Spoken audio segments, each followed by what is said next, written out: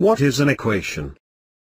In previous sections, we have seen some equations, and variables, such as, 3x minus 2, is equal to, 7, and, y, upon 5, plus 3, is equal to, 5, where, x, and y, are the variables. Let us now discuss more, about equations. In an equation, there is always, an equality sign. The expression to the left, of the equality sign, is the left-hand side, or LHS. While the expression, to the right, of the equality sign, is the right-hand side, or RHS.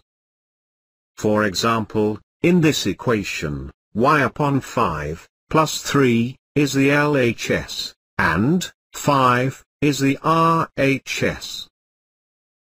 The equality sign, shows that, the value of LHS, is equal to, the value of RHS. If, there is any other sign, between LHS, and RHS, for example, greater than, or less than, then, it is not an equation. An equation, can be represented by, a weighing balance, with equal weights, on both its pans.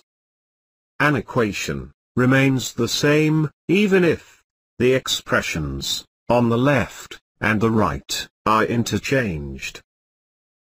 That is, 3x, minus 2, is equal to, 7, is same as, 7, is equal to, 3x, minus 2. Hence, we can say that, an equation, is a condition, on a variable. The condition is that, two expressions, should have equal value, and, at least, one of the two expressions, should contain, the variable.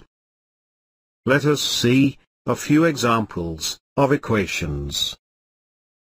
We will now write, the following statement, in the form of, an equation. 10, more than, twice the number, is equal to, 4 times, the same number. Let the number, be x. Twice the number, will be, 2x. 10 more, than twice the number, is 2x, plus 10. It is equal to, 4 times the number, that is, 4x. Hence, the required equation, is 2x, plus 10, is equal to 4x. Observe that, this equation, has 2x, plus 10, as LHS, and 4 x, as RHS. Also, it has a variable, on each side. Now we will consider, a real-life situation, and set up, an equation. Peter, and Sam, bought 22 chocolates. Peter has three times the chocolates that Sam has. The shopkeeper gifted Peter two more chocolates. Set up an equation which gives Sam's number of chocolates. Let the number of chocolates Sam bought be x. Peter bought three times the chocolates that of Sam. Hence, number of chocolates Peter bought is equal to 3 into x, that is, 3x. Peter got two more from the shopkeeper. Now total number of chocolates Peter has is equal to 3x plus 2. The total number of chocolates they both have is 22. So we can write it, as, Peter's, and Sam's chocolates, is equal to, 22. Hence, x, plus 3x plus 2 is equal to 22.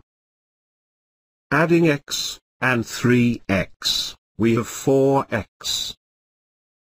Hence, 4x plus 2 is equal to 22 is the required equation. So far, we have been forming equations from statements. Now we will convert equations to statement forms.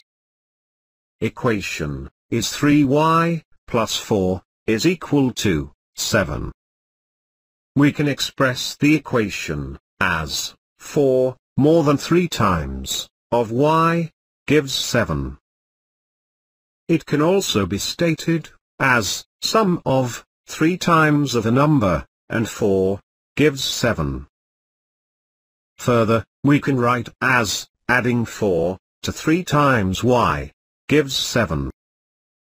Hence, it may be noted that, for a given equation, not just one, but many statement forms can be given.